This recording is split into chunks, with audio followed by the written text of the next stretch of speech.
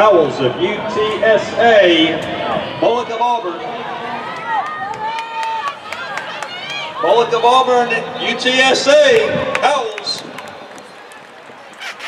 1197 unofficially, 1193.